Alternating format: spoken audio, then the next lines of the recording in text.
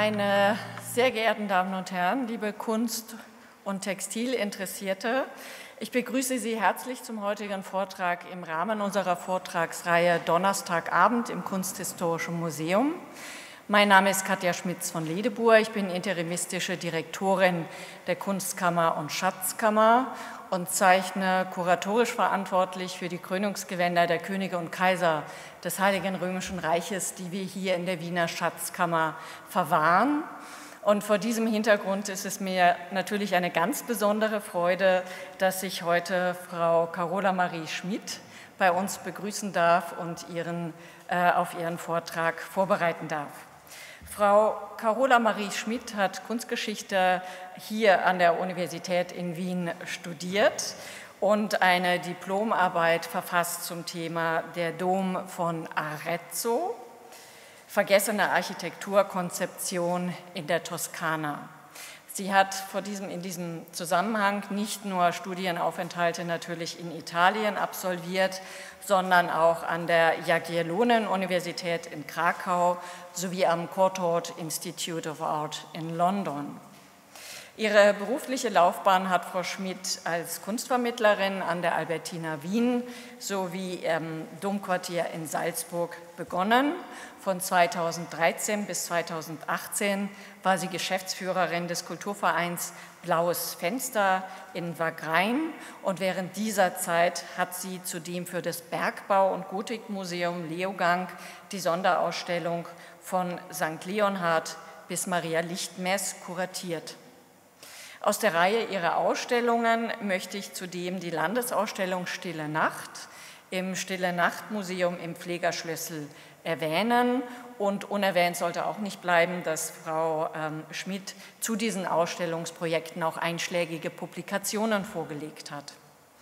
Seit 2021 ist sie nun Leiterin des Diözesanmuseums in Bamberg, zu dessen Beständen die populären Kaisergewänder des Bamberger Domschatzes gehören. Im Rahmen des DFG-Forschungsprojektes Kaisergewänder im Wandel, goldgestickte Vergangenheitsinszenierung sind diese Textilien in den vergangenen Jahren nicht nur textilhistorisch untersucht, sondern auch kunsthistorisch hinterfragt worden. An den Ergebnissen dieser Untersuchungen, die teilweise auch schon publiziert sind, ähm, wird Frau Schmidt uns nun teilhaben lassen und ich freue mich sehr auf Ihren Vortrag und darf Sie ans Rednerpult bitten.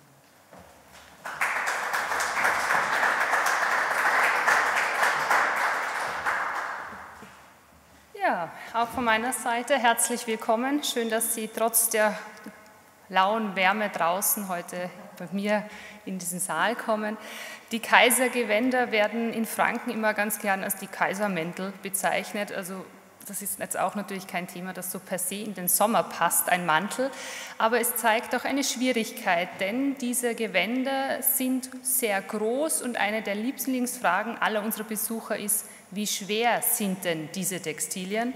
Das hat viel mit der jetzigen Konzeption zu tun, die so ausschaut. Die sechs Prachtgewänder befinden sich im Steinsaal des Kapitelhauses, in dem bis heute das Domkapitel von Bamberg tagt und sind sehr gleichwertig präsentiert. Allerdings hat jedes dieser sechs Gewänder eine eigene Geschichte, eine eigene Bestimmung, eine eigene Funktion und, das ist ganz wichtig, auch eine eigene Legendenbildung.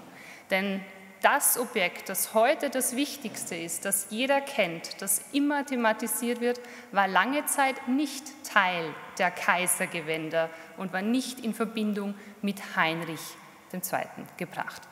Diese Objekte sind eben dementsprechend auch immer so ein bisschen mit Geschichte zu hinterfüttern. Deswegen möchte ich einen kurzen Exkurs zuvor in die Geschichte stellen, historisches. Da muss man sich bewusst machen, dass Kaiser Heinrich II. 1014 in Rom gekrönt wird durch Papst Benedikt VIII. Und eben dieser Papst ist dann 1020 äh, in Bamberg zugegen. Warum ich Ihnen das jetzt schon sage, man muss die politischen Verständnisse dieser Zeit ein bisschen verstehen, warum das ein oder andere Gewand mehr gewichtet wurde, warum es spektakulärer bewertet worden ist. Die, die, Dokumentenlage zu den Textilien ist erstaunlich gut, was mit der Heiltumsweisung zu tun hat. Diese Heiltumweisung war in Bamberg, wie sie heute auch in anderen deutschen Diözesen noch praktiziert wird, für Jahrhunderte ein fixer Bestandteil. Sie müssen sich das vorstellen, man hat eben die Textilien und den Schatz des Doms hinaus auf den Domplatz getragen in einer Prozession und so quasi das Volk teilhaben lassen an dem Geschehen, an den Wundern, die mit diesen Objekten in Verbindung gebracht worden sind. Dass das Buch, das Haltungsbuch, das Sie jetzt hier sehen, aus dem Jahr 1508 nicht mehr in Bamberg ist, hat mit der Säkularisierung zu tun. Es wurde damals Besitz des Freistaats Bayern und in der Folge auf den Kunstmarkt gekommen und eben nach London verkauft, wo es jetzt Teil der Sammlung der British Library ist.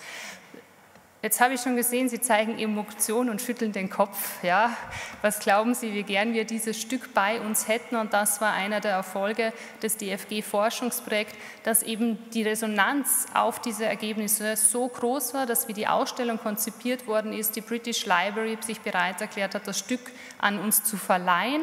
Ursprünglich war die Leihdauer begrenzt mit sechs Monaten. Corona hat dazu geführt, dass wir das Stück sehr viel länger hatten. Nur leider durfte es auch niemand aus außer wir sehen, weil das Haus eben phasenweise geschlossen war.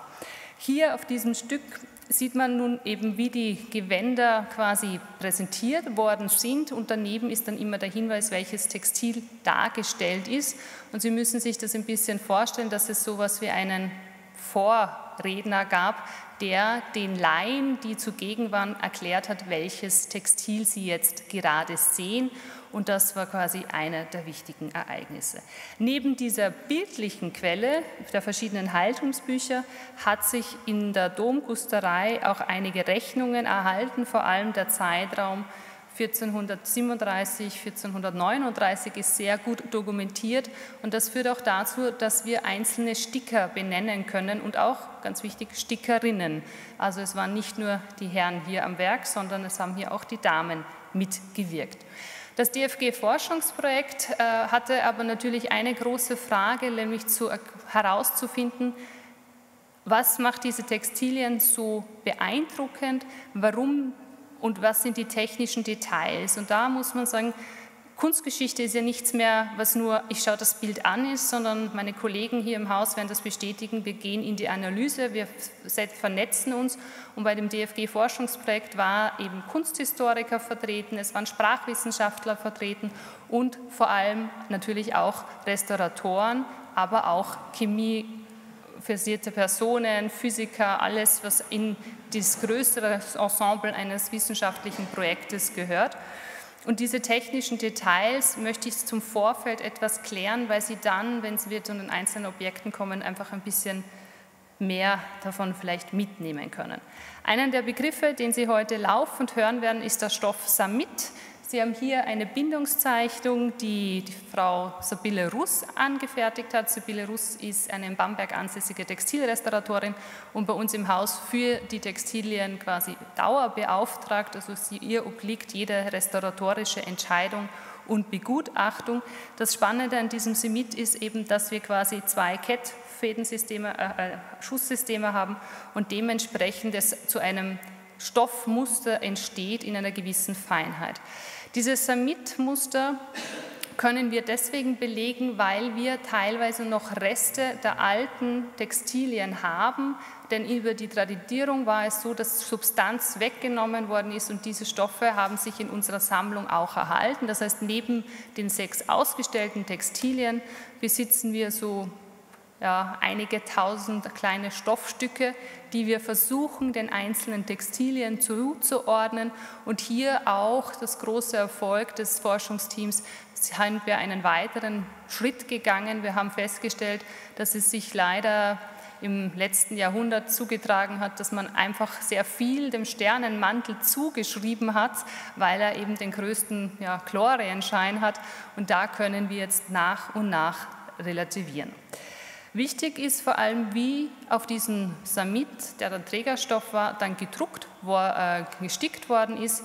Dieses Sticken war nicht ein Sticken, wie wir das vielleicht in der Schule kennen, mit der Nadel quer durch den Stoff, sondern es war ein Anlegetechnik und da wird angelegt ein Goldfaden und diese Metallfäden mit Seidenseele sehen Sie jetzt hier in der mikroskopischen Vergrößerung. Also Sie haben im Inneren hier, das ist nun die Seidenseele, bei der wir analysiert haben, welche Farbstoffe verwendet worden sind, welchen Farbton sie haben. Die, gängig ist ein Rot, aber wir haben auch weiße Seidenseelen und darüber wird fein eine weitere Struktur gewickelt, ein Blattgold quasi ein, ein, diese, über diese Seele gewickelt wird. Und wenn man sich das so im Mikroskop anschaut, dann kann man sich auch erklären, warum man jetzt keine Nadel genommen hat und mit diesem Faden gestickt hat, dann das hätte unweigerlich natürlich beim Samit dazu geführt, dass es irgendwo zu einem Stoß kommt. Also man kann das schon machen, aber das Material ist ja sehr teuer und dementsprechend hat man dann die Anlegetechnik verwendet. Bedeutet, das, was Sie hier sehen, dieser Metallfaden, wird oberflächlich auf die Textilie gelegt und dann kommt die eigentliche Nadel- und Faden ins Spiel und stickt darüber. Und das sind dann die sogenannten Haltefäden. Und auch die Haltefäden sind ausführlich analysiert worden, aber ich möchte mich noch kurz mit diesen äh, Metallfäden auseinandersetzen, weil wir uns natürlich immer fragen müssen, wie kommt dieser Faden um die Seele? Und jetzt fünf Jahre Forschung, alle haben sich viele Gedanken gemacht und leider bis jetzt hatte noch keiner die zündende Idee oder die Erkenntnis. Die, also wir müssen das ein bisschen relativieren vielleicht. Was Sie hier sehen, sind Fäden, wo Sie 70 Wicklungen auf den Zentimeter haben. Also extrem fein. Ich habe dann nachher für die, die in Präsenz da sind, einen unsere pädagogischen Fäden dabei. Da können Sie sich das kurz anschauen. Das ist modern und das ist, äh, wie die Textilrestaurator sagen, grob motorische Veranlagung. Und es hat bis jetzt keiner eine Erklärung, wie es gewickelt worden ist. Ähm, händisch das so zu drehen, dass es dann auf 70 Fäden kommt und das aber nicht nur willkürlich, sondern gleichmäßig auf mehrere längere Bahnen, ist sehr, sehr schwierig. Und das nächste Problem ist natürlich, wie dieses Metall überhaupt so fein produziert werden konnte. Auch hier gibt es verschiedene Theorien, die gehen von, man hat das Metall flach geschlagen, man hat es gedrückt und dann muss man irgendwie Streifen schneiden und das ist jetzt bei diesem Bild auch wichtig. Sie sehen hier die Kanten. An diesen Kanten gibt es teilweise kleine Wülste und bei diesen Wülsten spricht jetzt viel dafür, dass es doch ein Messer war. Lange ist man davon ausgegangen, dass es quasi irgendwie in, im Druckverfahren gelöst worden ist. Also es gibt hier sehr viele Theorien. Wir haben jetzt diese tollen Aufnahmen und der nächste Schritt muss eigentlich sein, im Feldversuch quasi nachzustellen, wie schaut das aus, wenn man so eine feine Folie immer wieder schneidet. Kriegt man das hin? Wo setzt man am besten an mit dem Messer?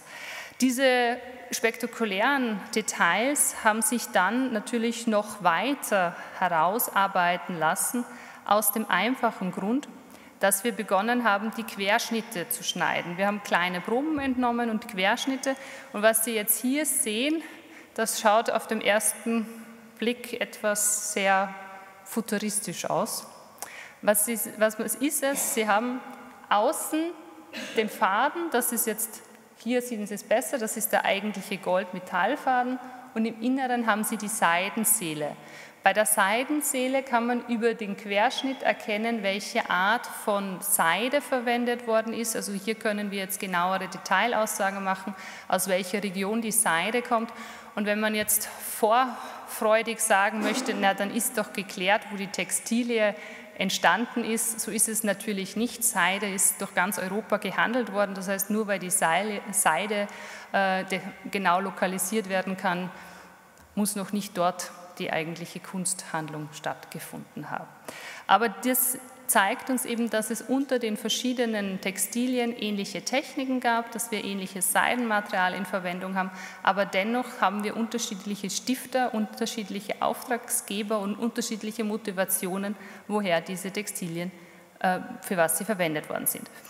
Eine weitere Frage, die schon lange diskutiert worden ist in der Forschung, ist, warum es auf unseren Textilien teilweise einen Grauschleier gibt. Nachdem das Goldgehalt, den wir später bei jeder Textilie noch hören, relativ hoch ist, hat man überlegt, warum also Gold an sich ist ja beschlagsfrei, das oxidiert nicht, deswegen ist es das wertvollste Material. Aber immer wieder gab es Stellen, die eben einen Grauschleier entwickelt haben. Bei diesen Stellen sind Proben entnommen worden und hier hat man festgestellt, man hat es mit sogenannten Nürnberger Gold zu tun.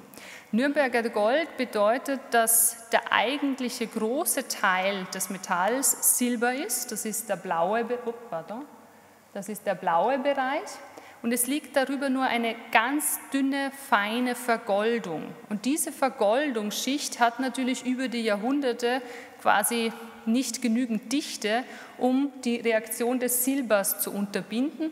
Das heißt, wir kommen hier zu Silberfluid, das heißt, es besteht eine, kommt zu einer chemischen Reaktion und das ist jetzt quasi der Grund, warum einzelne Stellen eben gegraut sind. Damit können wir aber auch sagen, das müssen Stellen sein, die nachträglich ergänzt oder bearbeitet worden sind. Denn das Verfahren zum Nürnberger Gold wird das erste Mal erst im 11. Jahrhundert dokumentiert und in Deutschland eigentlich erst im 15. Jahrhundert weiter Verbreitung. Das heißt, die Textilien, die wir ja in die Herrschzeit von Kaiser Heinrich datieren, sind mehrmals überarbeitet worden und eben hier hat man dann am Material ein bisschen gespart, könnte man sagen. Und deswegen ist es zu diesem Nürnberger Gold gekommen. Wichtig war im Forschungsprojekt für die Restauratoren auch zu suchen, ob es irgendwo noch Vorzeichnungen gibt, die einen Anhaltepunkt liefern, wie das Verfahren des Stickens vorgegangen ist. Und diese Vorzeichnungen die können Sie jetzt hier in der Vergrößerung sehen. Das war relativ eine große Spurensuche. Die Spurensuche heißt nämlich hin und wieder, dass ein kleiner weißer Punkt hier die Vorzeichnung ist. Oder man hat auch gelbe Vorzeichnungen gefunden. Da waren viele Leute, haben sich gesagt, hm, könnte das jetzt noch mit Indigo zu tun haben, aber wir haben es hier mit Auripigment zu tun. Äh, die Damen und Herren unter Ihnen, die chemisch versiert sind, haben jetzt wahrscheinlich einen kurzen Schüttler bekommen. Das ist hochgiftig und krebserregend. Also das war dann auch der Moment, wo die Restauratoren schlagartig mal innegehalten haben und man sich dann wieder überlegen muss, wie geht man mit dieser neuen Problematik um, dass eine Textilie vielleicht mit etwas belastet ist, das für den Menschen schädlich ist. Diese Vorzeichnungen haben sich auf verschiedenen Stellen an, auf allen Gewändern erhalten, aber und geben eben einen kleinen Hinweis, wie der ursprüngliche Prozess war. Die Schwierigkeit ist natürlich, über die ganzen Jahrhunderte ist das Textil mehrmals bearbeitet worden und dementsprechend finden sich die Vorzeichnungen nicht so flächendeckend, um Aussage zu treffen. Wir können auch nur sagen, bei der, äh, der Vorzeichnung sind Kreide in Verwendung, aber man hat auch Pasten mit verschiedenen ähm, Substanzen verwendet, also Knochenmehl und dergleichen. Das dürfte in der Hand des Stickers gelegen sein, welche Technik er verwendet hat. Im genauen Detailaufnahmen kann man jetzt nämlich auch sehen, dass es unterschiedliche Farbstoffe und Unterträgermaterialien nebeneinander gibt weil es hier wirklich eben zu einer Epochenübergreifung gab. Man hat etwas ergänzt, man hat dazu gestickt und das in so einer feinen Manier, dass sich jetzt erst in genauen Detailuntersuchungen zeigt, was ist in welches Jahrhundert zu datieren. So ein paar Vorbemerkungen von meiner Seite und jetzt schauen wir uns doch die bekannteste Textilie an, der Sternenmantel ist mit einer Höhe von 142 Zentimetern durchaus brisant und wenn man das als Schulter legt, also auch eine durchaus große Länge für einen Umhang und der Umfang sind immerhin fast fünf Meter. Jetzt können Sie relativieren, wie groß unser Ausstellungssaal ist, wenn alle sechs in einem Raum stehen können. Ähm, das Objekt in aller Kürze Heißt, wir sind in der Zeit von Kaiser Heinrich II., wohl zwischen 1014 und 1024. Wir haben eben diesen Samit mit der Doppelschuss aus Byzanz. Mit Vergleichen ist es natürlich in diesen Epochen etwas schwierig. Und der Farbstoff für Schussmaterial ist jetzt Krabb oder Indigo. Die Goldstickereien in der Anlegetechnik sind ebenfalls in die Zeit von Heinrich zu datieren und wir haben hier einen Goldland von, mit 93 bis 97 Prozent Gold, also sehr, sehr hoher Gehalt. und nur ein 1 bis 2 Prozent Silber und dann natürlich noch das übliche und meist verbreitete anzutreffende Kupfer.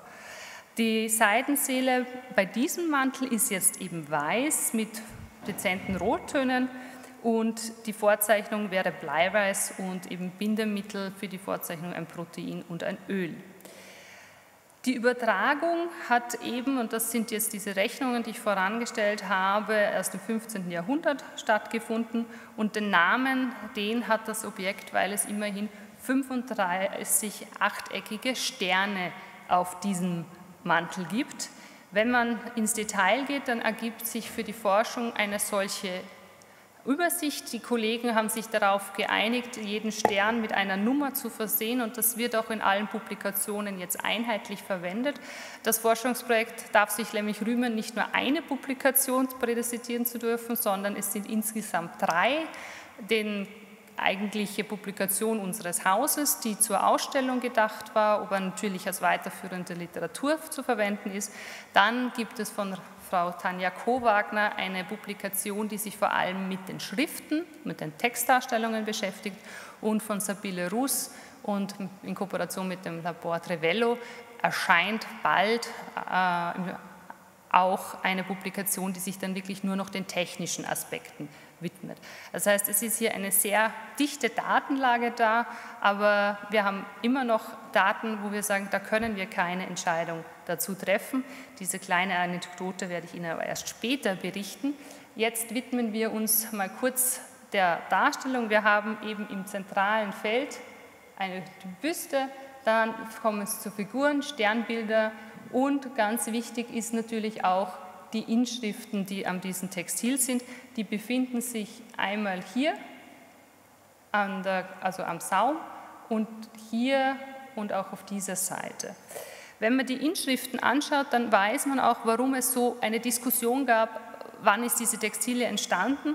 Und man muss verstehen, diese Textilie ist durchaus Propagandaobjekt gewesen. Es war versucht und es wurde immer wieder versucht, sie quasi als Legitimation für den Herrscher zu bringen. Das deutsche Kaisertum hat hier durchaus mitgewirkt. Wilhelm II. hat sich auf einem Glasfenster mit dem Sternenmantel darstellen lassen. Das hat damals wohl in Bamberg für Irritation gesorgt, protestantische Herrscher. Ähm, aber ja, wenn ein Glasfenster produziert ist, dann ist es so und damit muss auch dann umgegangen werden. Wenn wir uns den Inschriften widmen, eben diese Inschrift zu Heinrich, die sagt, Zierde Europas, glücklicher Kaiser Heinrich, dir vermehre dein Reich, der König, der in Ewigkeit herrscht. Das ist jetzt dieses äußere Spruchband hier. Und hier war die sprachwissenschaftliche Untersuchung von Frau Kowagner von Wichtigkeit, denn wenn man das auf Lateinisch sagt und um einen Kehrvers zu haben, einen Hexervers, dann muss man das Heinrich mit H, also Henrico, sagen. Und damit muss man sagen, der oder die Schriftverfasserin hat offensichtlich eher in den nördlichen Bereichen äh, Europas gewirkt und nicht in Italien, wo man das H im Allgemeinen nicht ausgesprochen hat, so wie es ja heute in der italienischen Sprache auch ist. Also hier ein Hinweis darauf, dass es dieser Mantel mit Heinrich in Verbindung zu setzen ist. Dennoch ist Heinrich nicht der Stifter nach laut den Inschriften, denn die nächste Inschrift sagt Friede den Ismael, der dies angeordnet hat. Klarer kann doch ein Stiftungshinweis nicht sein. Ismael von Bari ist auch historisch dokumentiert.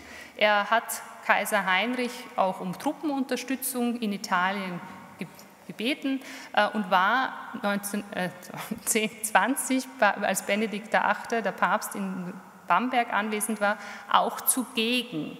Das heißt, wir hätten hier quasi sogar einen ganz guten Termin, wo man sagen kann, da hat diese Textilie quasi als diplomatisches Geschenk den Besitzer gewechselt. Das war auch lange in der Forschung so angegeben. Wir müssen nachher uns aber über diese Inschrift noch unterhalten. Die dritte Inschrift ist jetzt die, die klar macht, dass es aber, egal wer es gestiftet hat, doch einen Bezug zum höheren Wesen gibt. Denn dieses Geschenk des Kaisers soll angenommen werden. Das heißt, in der jetzigen Überlegung könnte es sein, dass Ismail von Bari sehr wohl die Textilie an Kaiser Heinrich übergeben hat, der sie dann allerdings eben Gott weitergeschenkt hat, womit dieses Objekt als diplomatisches Geschenk quasi zur Kirche hinzukommt. Wenn man aber die Inschriften genau analysiert, und das geht nun eben mit modernen Techniken sehr gut, dann hat man hier dieses Wort ordinavit, also angeordnet. Und das Wort erscheint schon etwas eigenartig. Schauen Sie sich mal das V gut an, das U, und da war schon immer so ein bisschen skeptisch und jetzt genaueste Aufnahme, ganz groß vergrößert mit der Kamera von Sibylle Russ, da merkt man, diese Buchstaben können und waren ursprünglich nicht so. Das V ist quasi ein Zusammenstückeln von zwei Linien, denn Sie haben hier ganz klar einen Verbindungspunkt. Also das ist ein Teil und hier haben Sie den zweiten Teil. Und das hier, das sind die Anstickfäden, also das ist die Halterung für die Neuweise. Und hier diese Kante ergibt sich eben, weil man versucht hat, es zusammenzusetzen, aber nobody is perfect und moderne Technik ist sehr genau.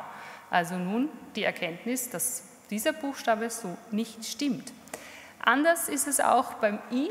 Hier, da steht nämlich schlichtweg auf dem Kopf. Und da ist es so, dass wir jedes einzelnen Buchstaben analysieren, bei jedem Buchstaben die Kettrichtung dokumentieren und dann schauen, ob wir auf der Rückseite einen Anhaltepunkt finden, der uns vielleicht vom ursprünglichen Trägerschrumpf der Kettrichtung sagt und so eben feststellen, dass diese Buchstaben immer wieder versetzt worden sind. Aber das heißt ja nicht, dass die ursprüngliche Inschrift nicht die gleiche war. Das ist nur, dass sie auf jeden Fall nicht die Originalzustand hat. Das sind die Details zu den Schriften, aber wir haben ja auch die Sternbilder. Die Sternbilder, keine Sorge, ich werde Ihnen nicht alle 35 vorbeten. Ich möchte Sie darauf aufmerksam machen, dass es dieses Textil eigentlich sehr astronomisch genau ist. Also wir haben auch Quellen, die belegen, was damals der Stand war der Wissenschaft, welche Sternzeichen man gekannt hat.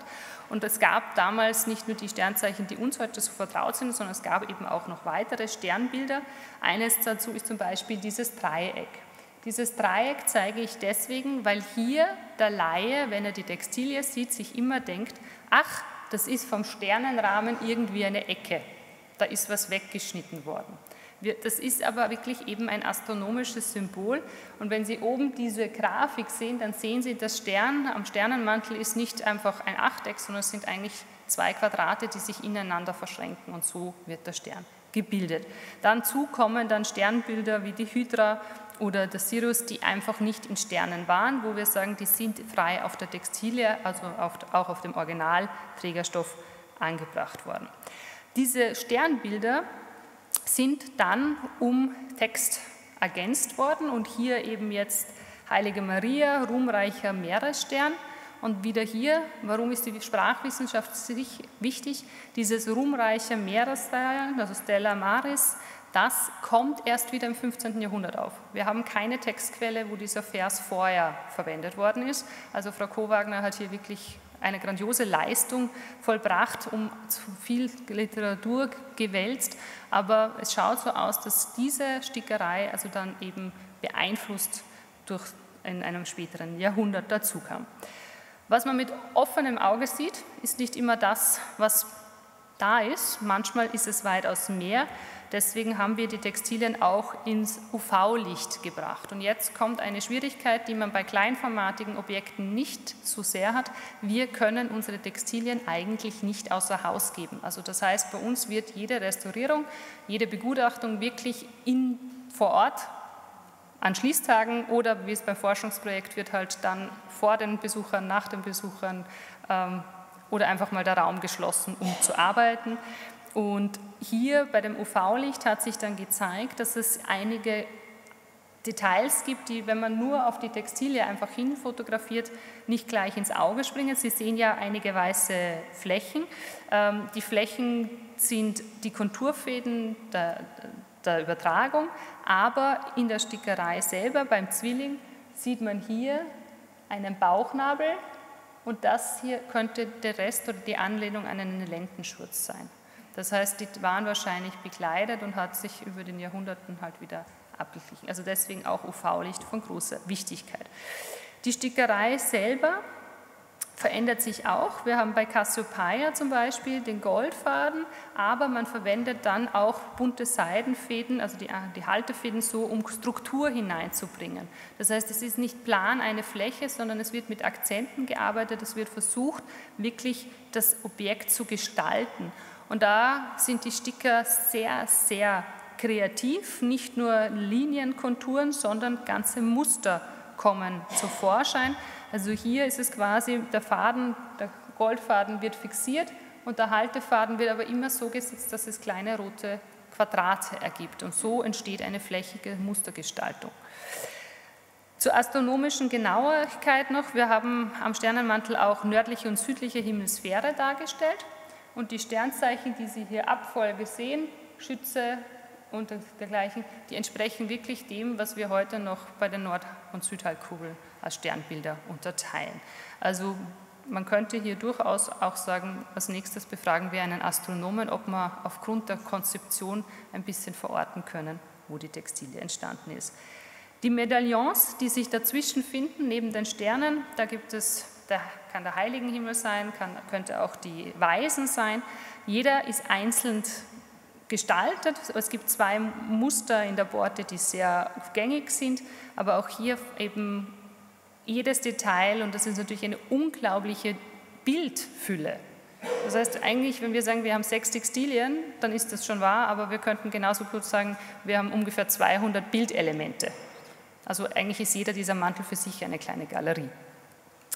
Nun aber zu einem Mantel, dessen Form viel diskutiert wird, so quasi ein bisschen Erholung für die Augen einen kurzen Moment.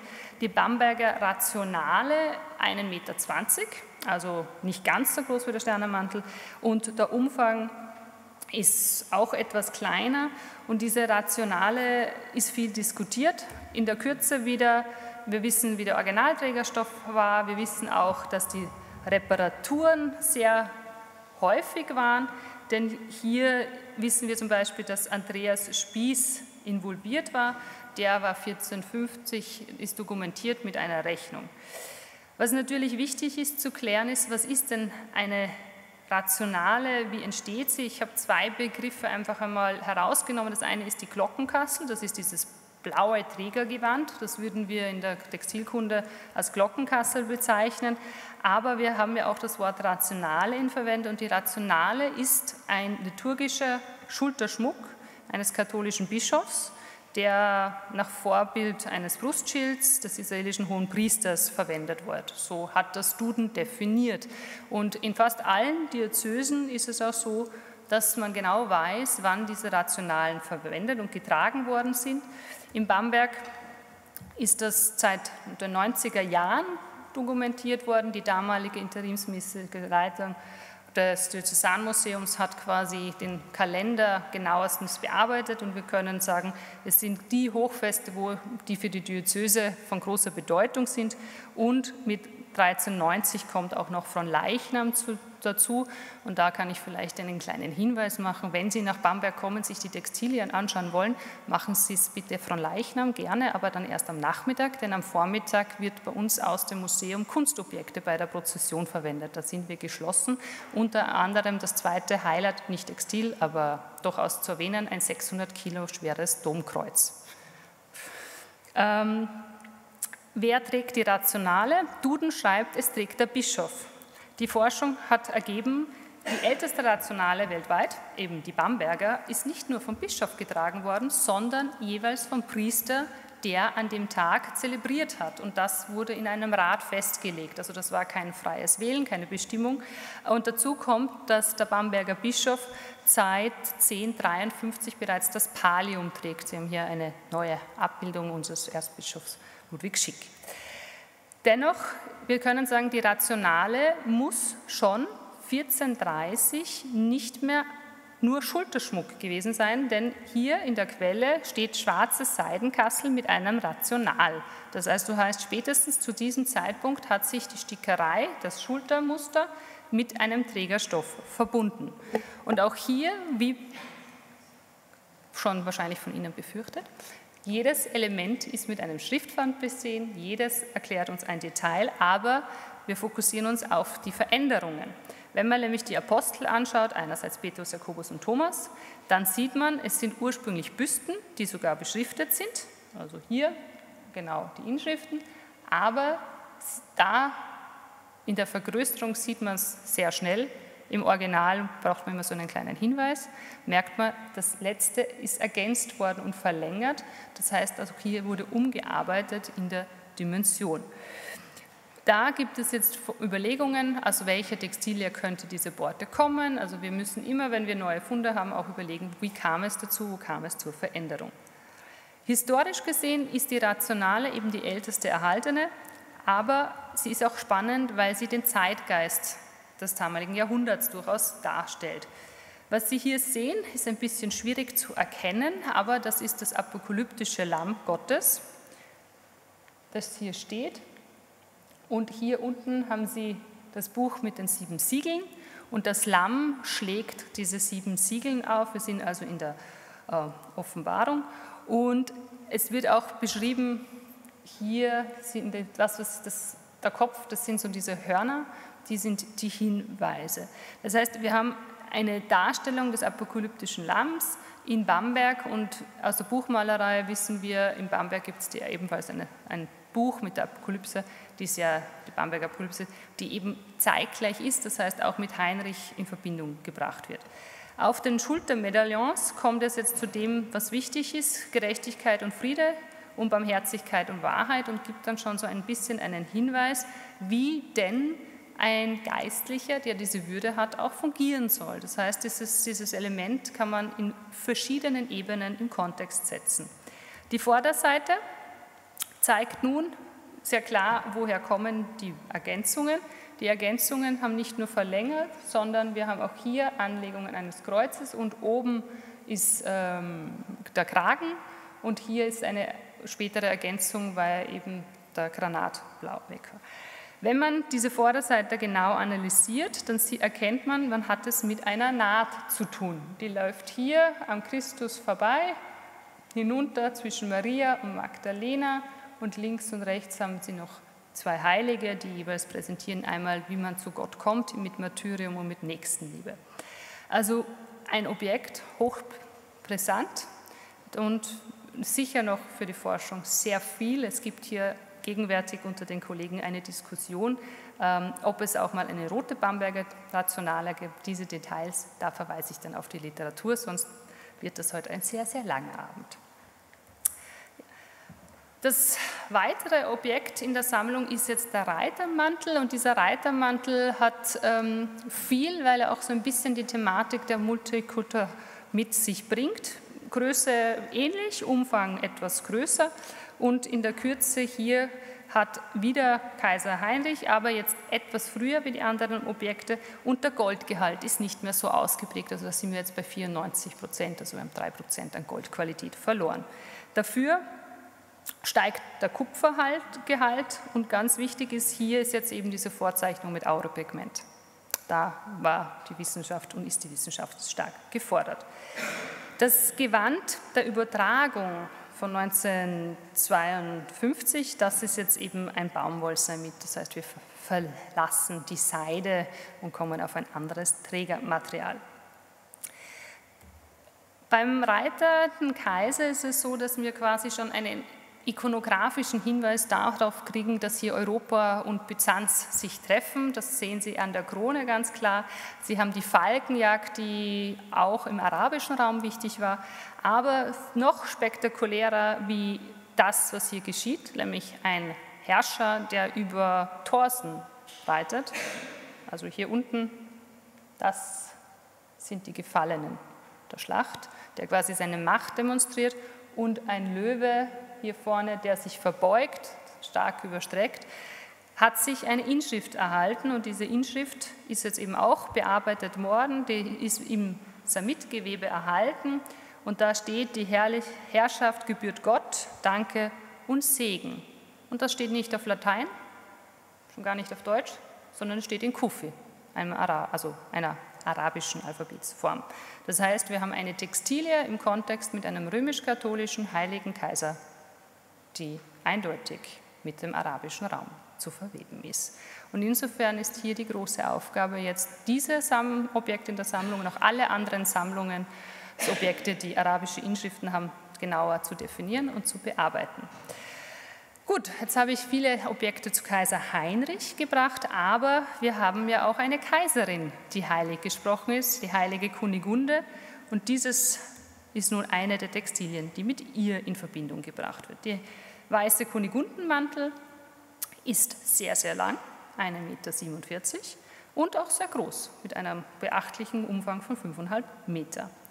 Diese Textilie hat sehr, sehr viele Umarbeitungen erlebt, äh, hat vom Goldgehalt jetzt wieder einen sehr hohen, nämlich 96 Prozent.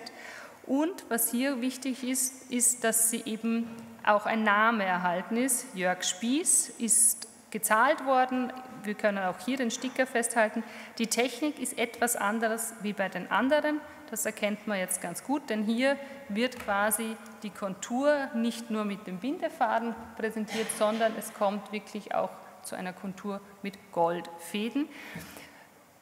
Zu Beginn des Forschungsprojekts sind wir davon ausgegangen, dass alle Kaiser gleich ausschauen. Jetzt haben wir festgestellt, jedes einzelne dieser Darstellungsembleme ist etwas anders, also das Gesicht ist anders, die Füße sind anders, also es gibt eine Art Mimik. Außerdem sehen Sie hier angeschnitten Schriftriegel. Diese Schriftriegel sind wie die Textiliendarstellung des Kaisers selbst stark versetzt worden. Deswegen zeige ich Ihnen jetzt einmal das Trägergewand, das bei der Restaurierung im in München 1956 abgenommen worden ist, dann sehen Sie nämlich, die Anordnung ist ganz anders wie die, die ich vorher auf der Textilie gezeigt habe. Wir haben es hier quasi mit zwei Parallellinien zu tun und dann einer radialen Ausrichtung, während sie jetzt alle parallel nebeneinander sind. Und wir können aus dem Trägerstoff erahnen, dass sich das Schriftband wahrscheinlich unter dem Kaiser befunden hat. Die Überlegungen gehen aber so weit, dass auch das natürlich nicht der Originalstoff ist. Das heißt, es könnte auch sein, dass es sich ursprünglich um ein quadratisches Tuch gehandelt hat. Die Mäntel oder die Textilien mit Kunigunde im Kontext sind auch die, die am stärksten bearbeitet worden sind, aber jetzt haben wir eine Textilie, die ist spannend, weil zuerst steht, sie gehört dem Kaiser, dann gehört sie der Kaiserin und am Ende weiß man eigentlich gar nicht mehr, was ist jetzt hier wie gedacht und wie gewesen. So schaut sie jetzt aus, nachdem sie eben in den 1950er Jahren bearbeitet worden ist.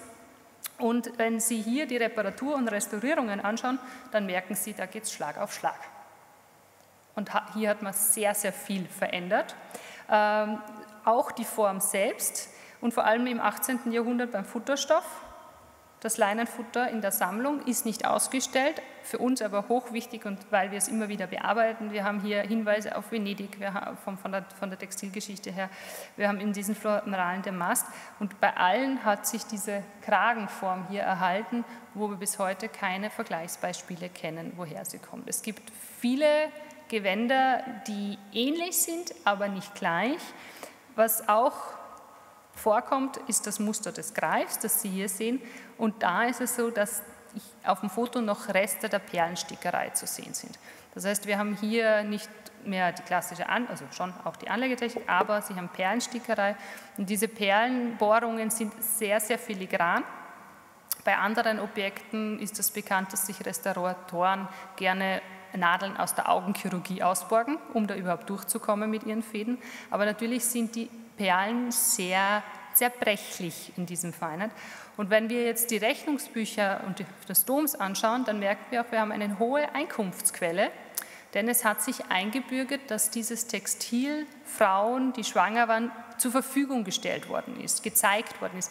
Wie weit das ging, ob sie das, wie es gerne in der Populärliteratur heißt, angezogen haben, das bezweifeln wir ein bisschen, aber auf jeden Fall ist es quasi wirklich eine Berührungsreliquie geworden und dementsprechend sind die Perlen jetzt ja, sehr stark dezimiert, aber jede Dame, die eben die Reliquie sehen wollte, musste einen Oberlus leisten.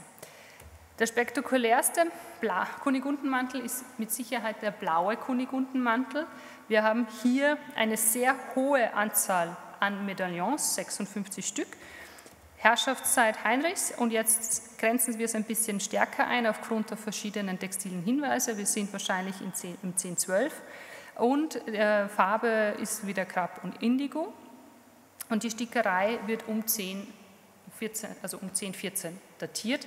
Das hat mit den verschiedenen Aspekten, die eben dokumentiert sind, zu tun, dass wir sagen, okay, das, das ist erst in dem zweiten Zehntel entstanden. Spannend bei dieser Textilie ist vor allem jetzt die Übertragung, die eben auch über die Rechnungsbücher dokumentiert worden ist durch Dorothea Behemi. Und Sie sehen schon, die Dame hat zwei Jahre übertragen. Übertragen bedeutet, dass man jedes einzelne dieser Elemente, das Sie hier wieder in unserem Nummernsystem sehen, fein ausschneidet. Und zwar wirklich so fein, wie es nur geht, hart an der Kante, gerade so, dass man die Stickerei nicht beschädigt und dann auf einen neuen Trägerstoff setzt. Wenn wir noch mal kurz zurückgehen, dann sehen Sie hier im Trägerstoff aber Linien.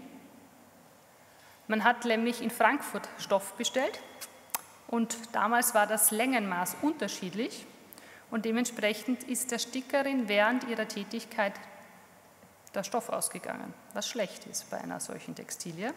Und es hat sich auch der Umfang etwas verändert. Man hat deswegen hier unten die Medaillons gekappt und weil dann die Borte auch noch zu wenig war, kann man ganz gut sehen, dass es zu einer Dehnung kommt. Also das Muster wird quasi überstreckt und gelenkt hier, um den ganzen Saum damit zu schmücken. Das sind die kleinen Beobachtungsdetails, die jetzt eben große Fragen aufwerfen. Wichtig ist vor allem die Darstellungen hier. Wir haben es jetzt mit äh, mehreren Bilderzyklen zu tun. Wir fokussieren uns auf den Petrus-Zyklus der sich eben links und rechts zum zentralen Mittelfeld Z befindet. Das heißt, räumlich denken, das heißt vorne auf dem Gewand des Priesters, also auf der Vorderseite. Und hier wird wirklich die ganze Geschichte von Petrus erzählt. Es beginnt mit der Tonsur, die göttliche Hand kommt hervor, er bekommt seine Tonsur, deswegen können wir Petrus sichern. Aber auf der rechten Seite, sehr wichtig, ist jetzt eine Darstellung von Nero und Simon Magnus. Simon Magnus, vereinfacht gesagt, ähm, er behauptet, er kann fliegen. Die Heiligen sagen, Fliegen ist nicht für den Menschen gedacht. Sie beginnen zu beten und deswegen zwei Medaillons weiter kommt nun der Sturz des Simon Magnus und in der Folge wird den Pauli also enthauptet. Ähm, man hat nun den roten Haltefaden mal verwendet, um etwas Blut darzustellen. Aber wir sind in einer Zeit, wo man natürlich sagt, naja, wenn die Heiligen durch den Kaiser Roms getötet werden können, dann wäre ja das quasi der Triumph. Und der Triumph kann und ist doch bei Christus und bei Gott. Und deswegen findet sich in einer ganz kleinen Szene, die jetzt eben angeschnitten ist, rechts oben, äh, der Tod von Nero. Nero wird, so die Überlieferung, er irrt im finsteren Wald umher und wird dann von Wölfen zerrissen. Diese Wölfe zerfleischen ihn nun und was man hier sieht, ist eine Veränderung des Übertragungsart. Man hat nämlich zuerst mit roten Konturfäden gearbeitet, dann mit weißen. Das heißt, diese Ecke war auch so ein bisschen der Versuch der Stickerin, was macht Sinn, was ist am besten, um eben die Darstellung zu präsentieren. Und besonders brachialisch wird es dann, wenn man die ganz kleine, fast schon nicht mehr erhaltene Medaillon sieht, da sieht man nämlich einen Wolf, der den Fuß des Kaisers wegträgt. Und damit hätten wir einen der ersten und frühesten Nerozyklen dokumentiert und das ist jetzt die nächste Forschungsaufgabe für uns. Wir müssen mal schauen, gibt es einen Nerozyklus, der ähnliches Bild und ähnliches ähm, Komponenten mitbringt. Ich habe vorher schon die Nähte gezeigt, wir haben die nun eher dokumentiert und neben den Nähten zeigt sich auch, dass hier mit feinen Mustern gearbeitet wird. Die Auferweckung der Tabiat ist jetzt, dass eben sie schon verstorben ist, sie wird erweckt durch Paulus. Und hier hat man einerseits die Punkte, pardon, einerseits die Punkte rund, aber eben auch ein Muster für das Bett, für die Decke. Wenn Sie sich jetzt fragen, ja, wie dokumentiert man diese einzelnen Muster noch händisch? eine der wichtigsten Methoden, zuerst einmal händisch. Das sind jetzt die Gerechten, die sich hinwenden zu Gott. Äh, wir haben hier quasi das Gesicht, das wird dann jeder Faden schraffiert und so kann, können wir dann erkennen, okay, in dem und dem Medaillon laufen die Fäden parallel oder da ist ein großer Unterschied, dann können, könnte man sagen, es hat sich versetzt. Wenn es dann aufbearbeitet wird, so wird es dann publiziert, dann sieht man auf einem Feld hier Moses äh, mit dem brennenden Dornbusch eben das Original Gold, man sieht aber auch die Trägerveränderung, man sieht die Reparaturen. Also ein Medaillon alleine reicht eigentlich für einen Vortrag.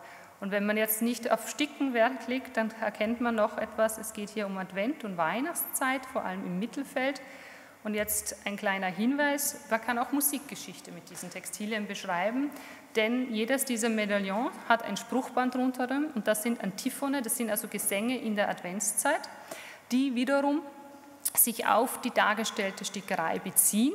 Und wir haben im Rahmen des DFG-Forschungsprojekts einen großen Teil dieser, äh, dieser Gesänge jetzt einsingen lassen. Die O-Antiphonen sind quasi vom 17. Dezember bis 23. Dezember angeordnet. Und ich habe eine kurze Probe für Sie. Es ist natürlich etwas anderes und Sie werden es wahrscheinlich, ja, mal schauen, vielleicht gefällt Ihnen mit der örtlichen Musik auch.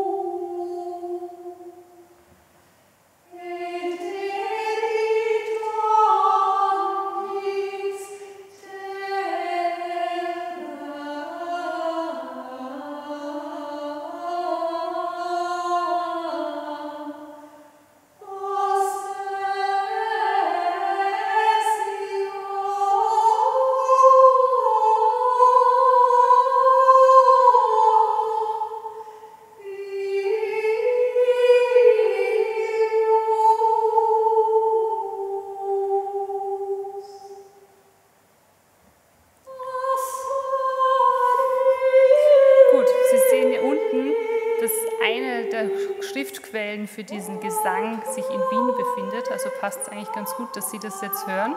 Es war so ein, und es zeigt auch, wie wichtig Bücher sind. Deswegen sage ich danke für die Aufmerksamkeit.